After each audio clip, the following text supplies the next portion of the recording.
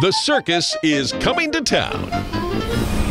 We are at the American Airlines Center for the Ringling Brothers and Barnum Bailey Circus. There's 75 clowns that have gotten together and we're doing a training exercise with the Ringling Brother clowns.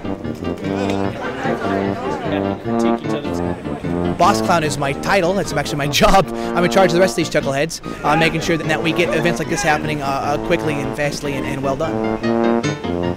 Hey, Scoop! It's been a tradition we've done here with the Greatest Show on Earth for many years now. Uh, there's, it's, it's actually growing. It started here in Texas, but it's been happening all over the country now. Uh, and it's always fun to, to, to help other clowns out and to and know that we're helping clowning itself.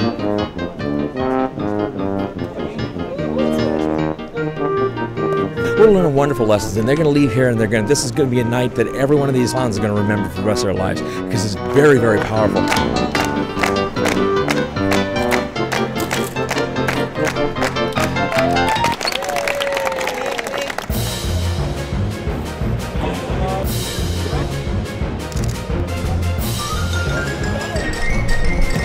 We're trying to teach some, some classic circus clowning, and as well as giving them some basic tools, things to practice that they can incorporate into their shows, and to add another whole level of clowning to it, something to bring a little more fun.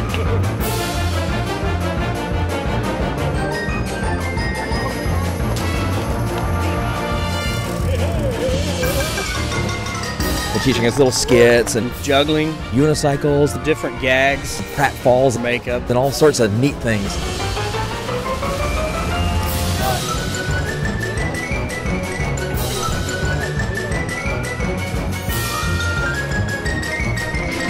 Here, we'll show you how well I'm doing. There you go. Ta-da! We're from uh, Benbrook Fire Department, and we're observing, trying to pick up some good leads on clowning. We're all a member of an organization called LAFS, Life and Fire Safety Clowns. Hello, Alan. We're not birthday party clowns, we're firefighting clowns. We're clowns with a purpose. And so we teach and then we try and entertain any way we can.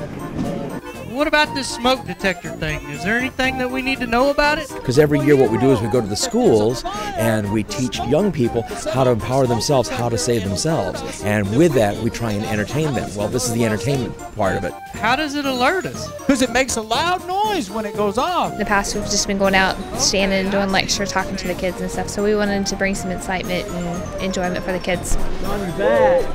What? Johnny's back. So this is perfect for us to come out and get some really good ideas. We as firefighters know how to tell people, well, stop, drop, and roll. But we want to do it where it's kind of funny, we want to do some clowning with it. Well, we don't go through schooling for clowning, you go through, through schooling to learn how to put out fires.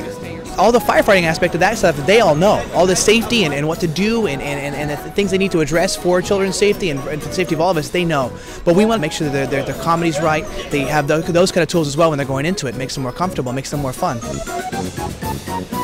they have a different motivation. A lot of clowns, circus clowns, you know, they want to perform and they and they want to be famous or they want to just entertain people.